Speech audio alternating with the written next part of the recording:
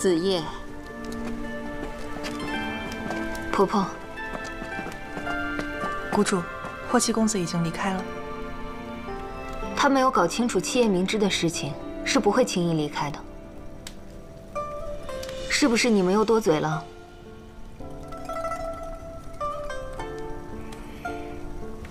哎，药炉外晾晒的鸡血藤，你们收回来了没有啊？我们这就去收。婆婆护着他们，倒让我像个坏人了。他们知道，你是不会为这种事情责怪他们的。你是不是还在生霍公子的气呀？气什么？他不明情况，胡言乱语，不跟他一般见识。你这么想就好，忧怒伤身，能免则免。霍七公子知道，当时情况危急，你是为了救他，无奈之下用了七叶明芝，所以呀，他想亲自跟你道歉，但是我怕你见到他生气，所以就让他走了。无需他来道歉。你是怕霍七公子知道七叶明芝备用，联想到那张药方是吗？有些事啊。真相不说出来，是为了那个人好。事情已经过去了，我现在只是担心我的银铃簪还能不能找到。那就出去找找。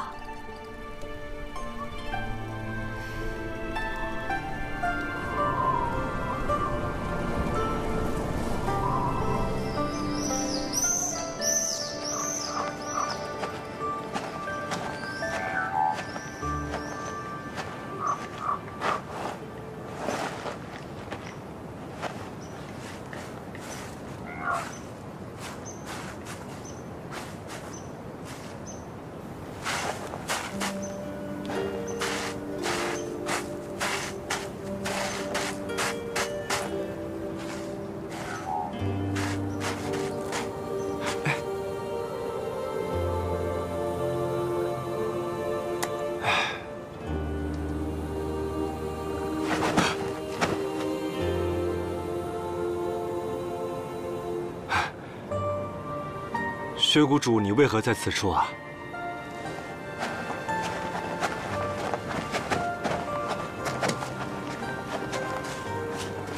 我是来找东西的。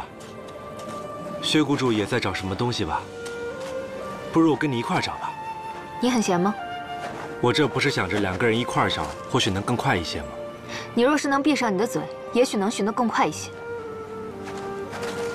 那只能请薛谷主点上我的雅穴了。霍公子，看来你不仅喜欢赖账，还真是厚颜无耻。可不是嘛！只有我这样的厚颜无耻之人，才能受得住薛谷主的心狠手辣呀。我心狠手辣，也比不上你的油嘴滑舌。对，你说什么都对。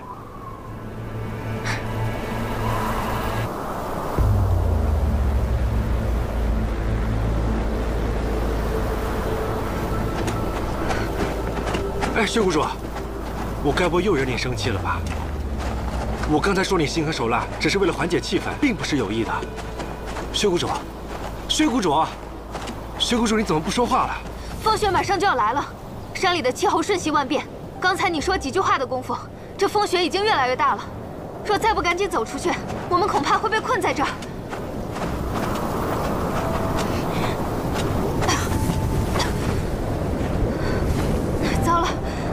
他已经走不出去了，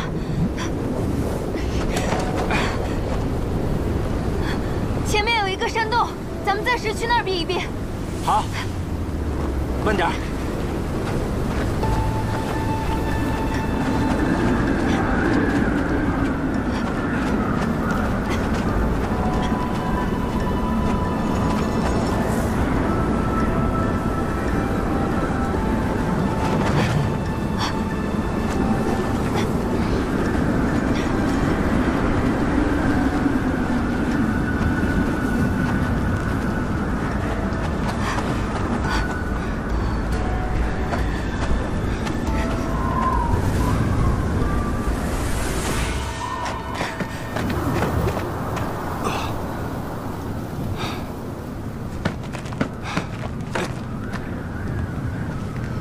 做什么？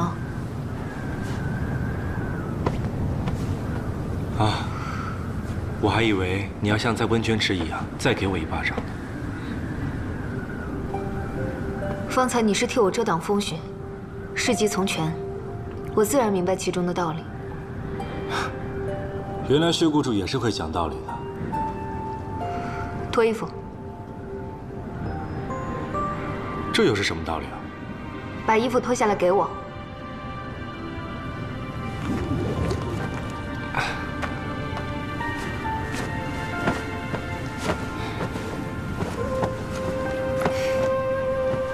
真是一点都不客气。你吃了七叶明芝，一时半会儿死不了。是宁婆婆告诉你的吧？你来这山上，八九成也是为了帮我寻簪子。你连这个也知道吗？在药师谷帮你医治时，将你身上的物件悉数除下。霍公子身上可谓一件值钱的东西都没有啊，有什么值得你前来寻的？嘿，薛谷主还真是体察入微呢。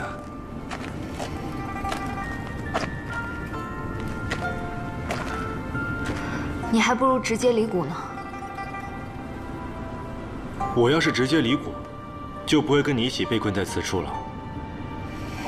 这如此一想，我倒是觉得挺庆幸的。有我在，或许能帮得上你的忙。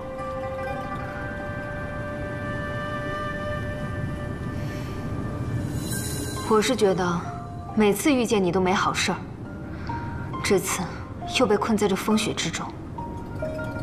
被风雪困在此处也是受我连累，欲加其罪，何患无辞啊！你这张聒噪的贫嘴，才是何患无辞。我要是不聒噪，如何跟你解释清楚啊？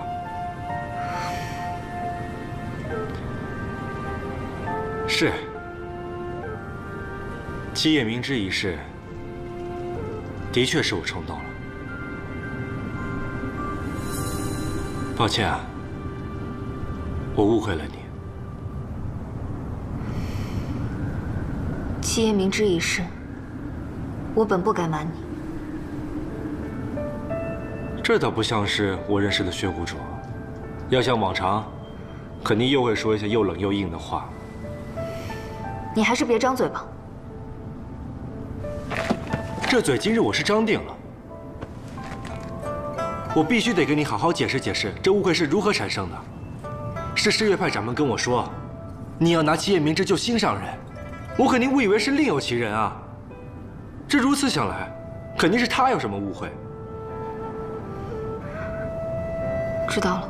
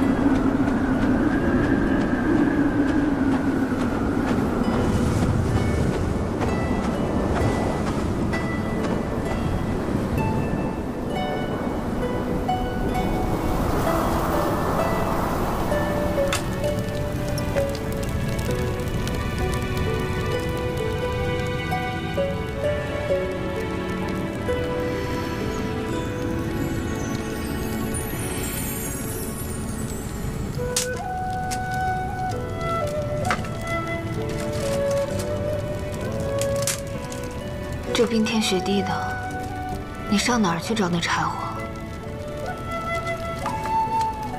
外面的风雪是否小了一些？现在外面天黑了，风雪又大，你就安心歇着吧。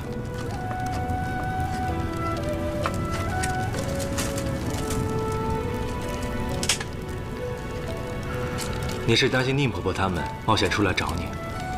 他们知道我出来替你找簪子。说不定也能想到我们会偶遇，互相有个照应。放心吧，谷里有宁婆婆在。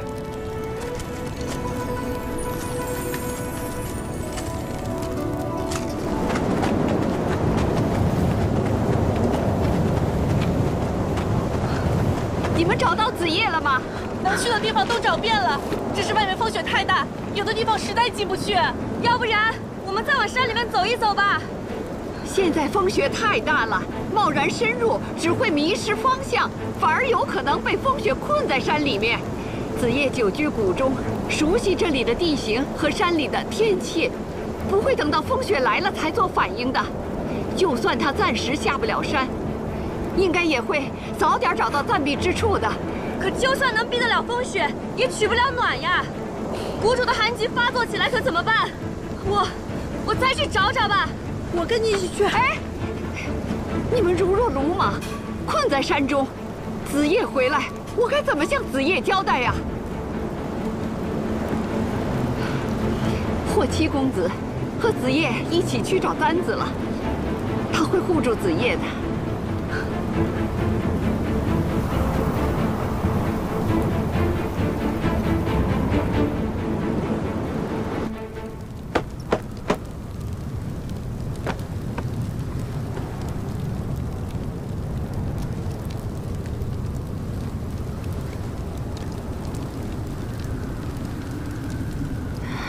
做医者的，最见不得你这种人了。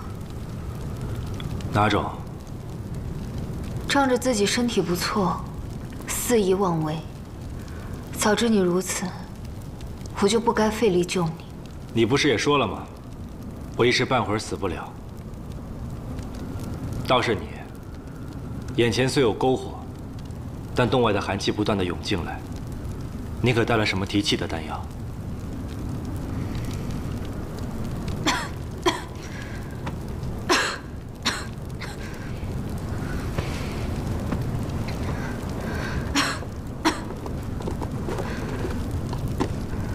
还好我出谷前把酒装满了。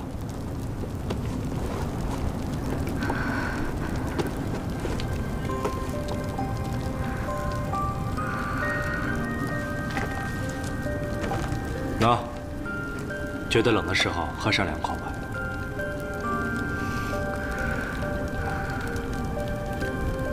酒能御寒。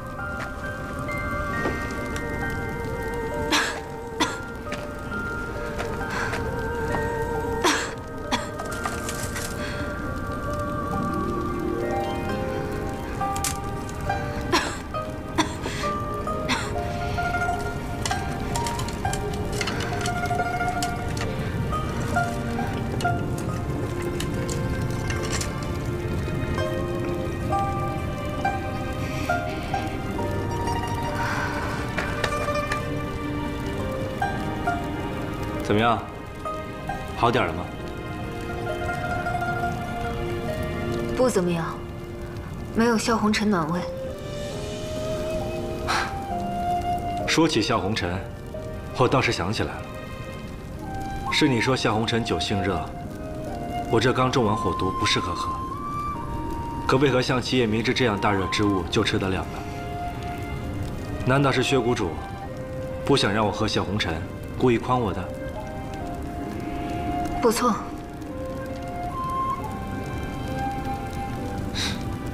小气的如此坦荡，我还是头回见。我可不是什么小气之人。这酒全给你了，慢点喝吧，不跟你抢。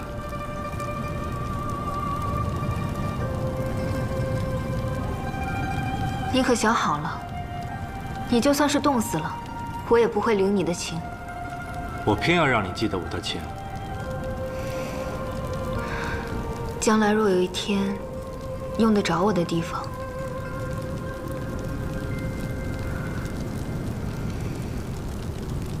怎么想要以身相许啊？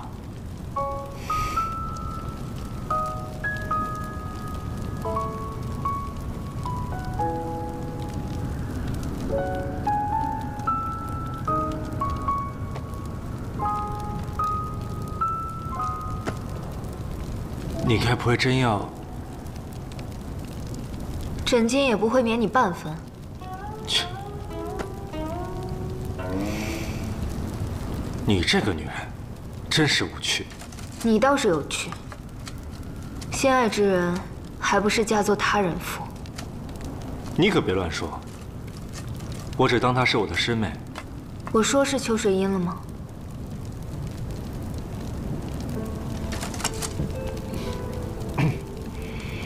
你不问问，我是如何知道你和你小师妹的事？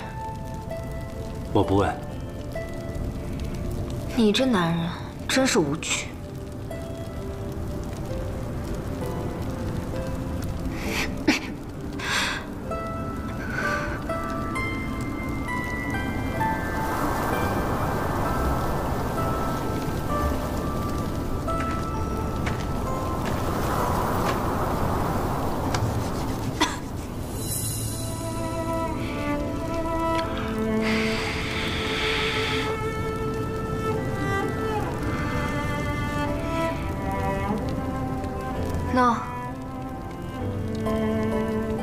免得你真讹上我。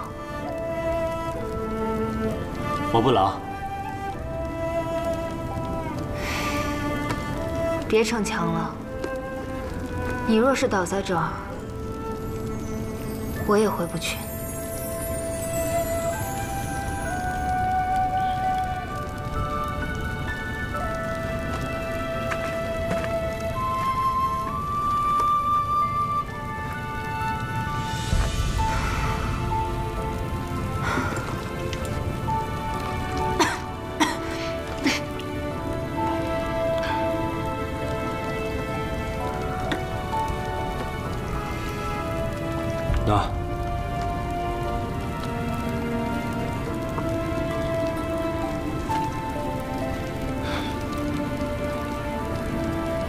薛谷主，你我都共饮一壶酒了，那以后我们便是朋友了。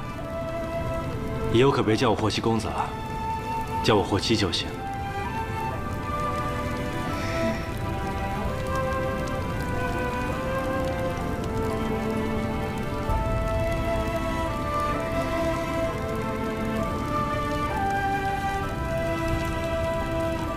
你别睡啊，内息会乱的。用你说，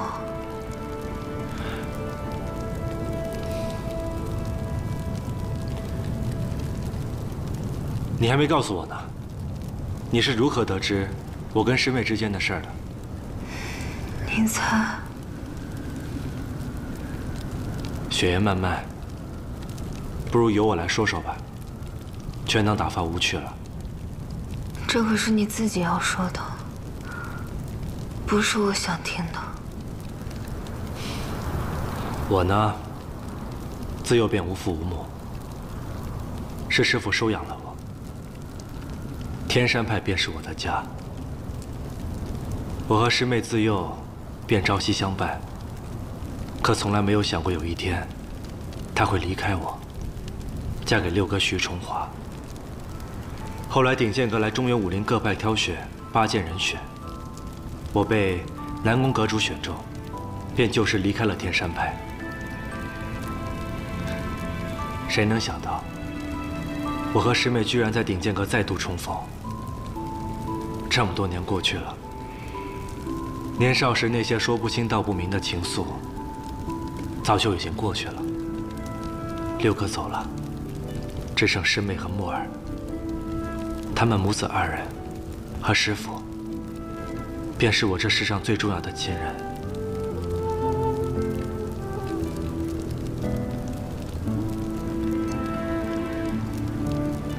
薛谷主，薛谷主，你在听吗？薛谷主。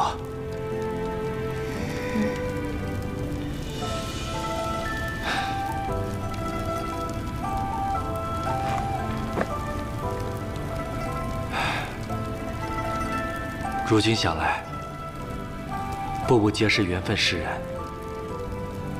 天命如此，实在不必执念挂牵。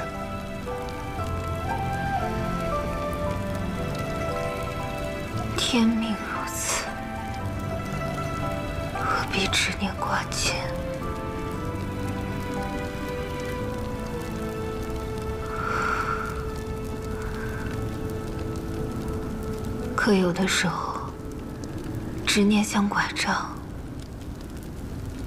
若是没有那根木的支撑，是走不出这风雪的。所以你才三番四次想要找到那簪子。那簪子可是冷泉中那位公子所造。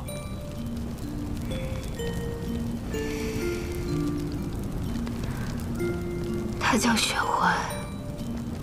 若不是他，我早就是一抔黄土，亦或是葬身于腹。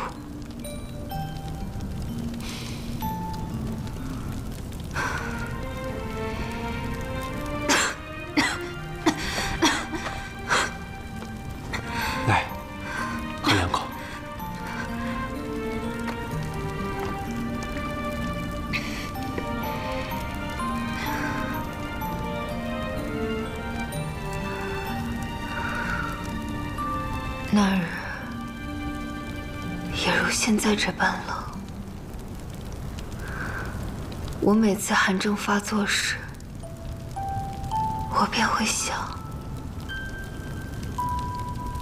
当时他独自浸泡在冰河之中，是否会比我更痛、更冷百倍？雪怀救了我两次。第一次，我一个家；第二次，他用自己的生命救了我。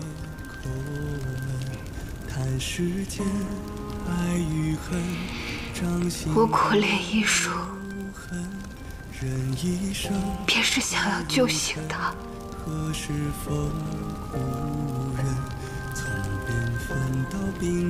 你医术高明，定能起死回生的。看乾坤，家火阵，穹顶的星辰，在人人皆言我医术高明，可我有时会怎样？有时也会怕，怕什么？怕这风雪太大，而我撑不到那天。守在每个夜深，为你长着灯，献出漫长余生。又怎会脱身？爱似雪落无声，又席卷失魂。有我在，不会让你有事的。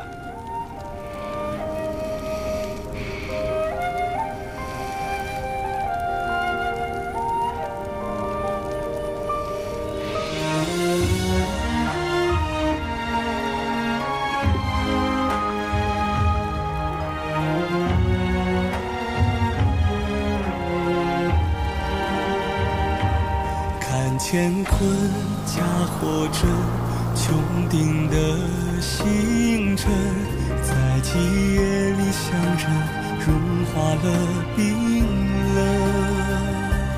用纯真的赤诚，多少种情人，温酒对饮几分，一梦度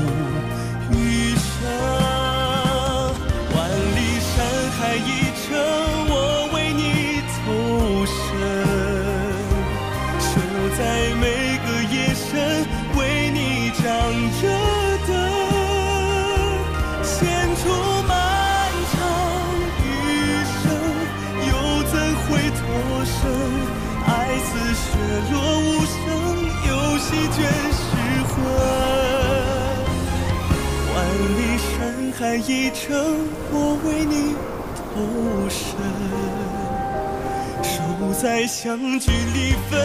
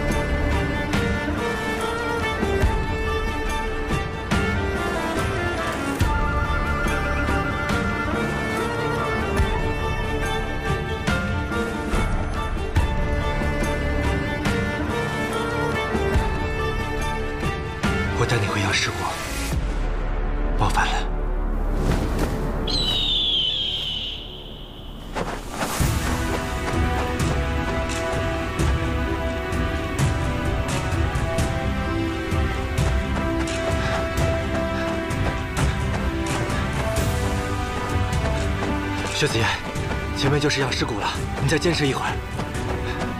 薛子燕，薛子燕。你跟我说说话行不行？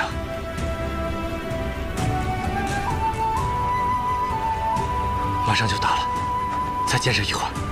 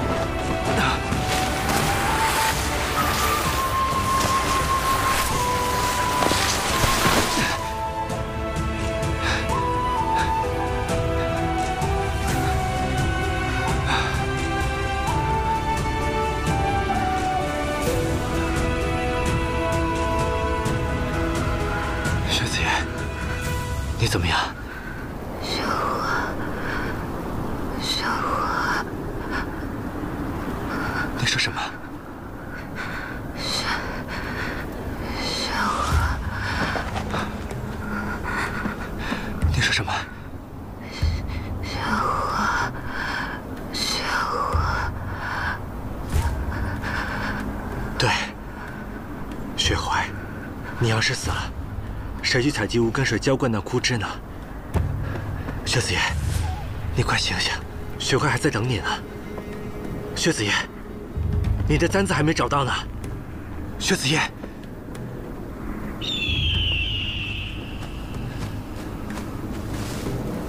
雪英，快去叫人来！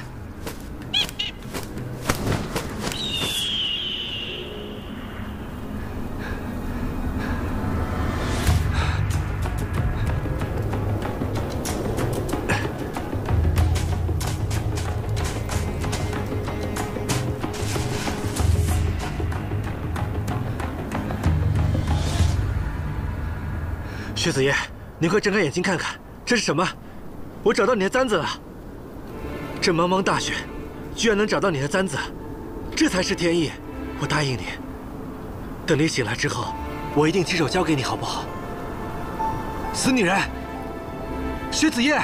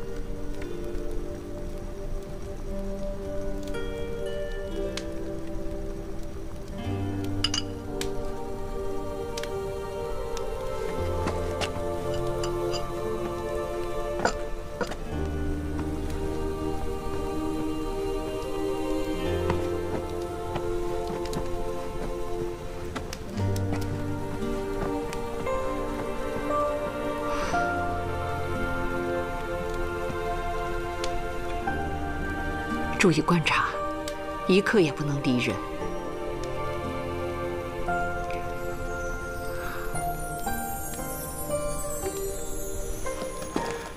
婆婆，薛谷主身体可无恙？已无大碍，只是还需要小心休养几日。没事就好。昨夜风雪太大了，我们无法入山寻找，甚是担忧。幸得公子相助，子夜躲过了一劫。谷中上下对公子真的是感激不尽。婆婆不用如此。薛谷主对我有救命之恩，保护薛谷主的安危，在下定能义不容辞。老师没有看错，公子是诚挚好义之人。子夜独来独往，孤僻惯了，能遇到公子这样的朋友，实是幸事啊。婆婆，您过奖了。只是薛谷主，是否是在下为友？在下也……我了解子夜的脾性，他也是重情义的人。公子放心吧，好好回去歇息，这里有我呢。婆婆费心了。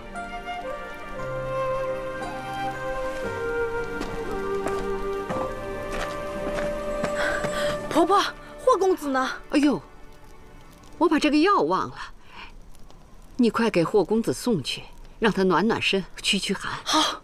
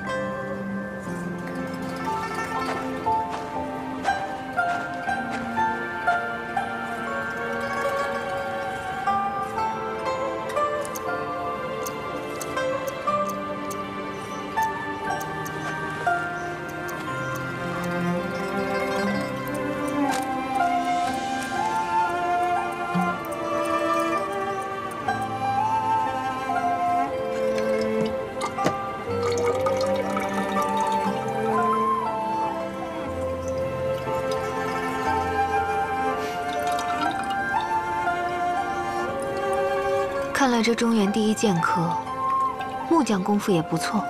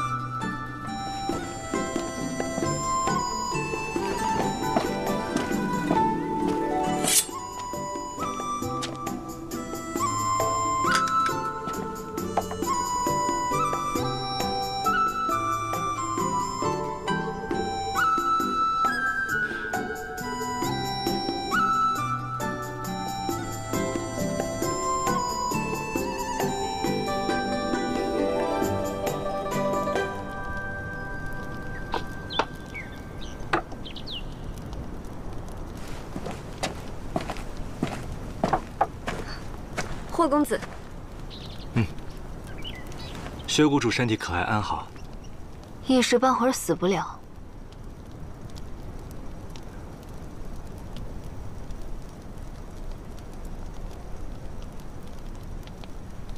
你要走？我查探得知，白云宫的青鸾花近日会在扬州出现，为免生变故，我需即刻启程去扬州寻药了。霍公子果然是胆识过人啊！眼下余毒未清，又在风雪中度过了一夜，就有自信冒险去寻药了。像我这种不知爱惜自己的身体、肆意妄为的人，薛谷主可是又看不惯了。再半死不活的回来，我可不救你。薛谷主可不是见死不救之人呐！你不是不想见我吗？等到临行前才来跟我告别，怕不是一直在躲着我？那薛谷主也不曾来找我呀。唉，想必是我的雕虫小技，早就被薛谷主识破了。没错，当日我的确未找到簪子，那只是根木枝。醒来时我便发现了，怎会如此的巧？风雪那么大，那银铃簪怎会如此刚好落在雪面上，又刚好被你寻得？事急从权嘛。那叫我死女人也是事急从权。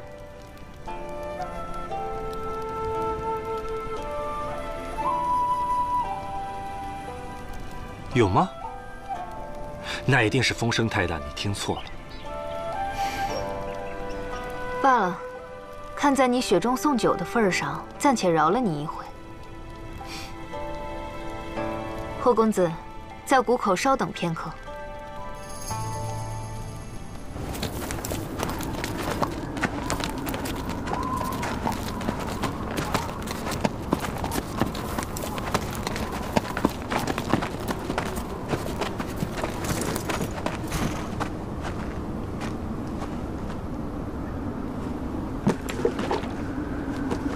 这酒还不快谢谢我们谷主！这笑红尘一向只有我们谷主才能喝，可从没给别人。那就谢谢薛谷主不吝赠酒了。是还你山洞那一壶。看来薛谷主还是不惯欠人人情啊！我本来还想着，靠着那坛酒，日后还希望你多救我一命呢。霍七公子想得倒美。美，的确是美。我只是给了你一壶这普通的桃源酒。如今却换来你们药师谷的独门佳酿如此算来还真是我赚了。慢走不送。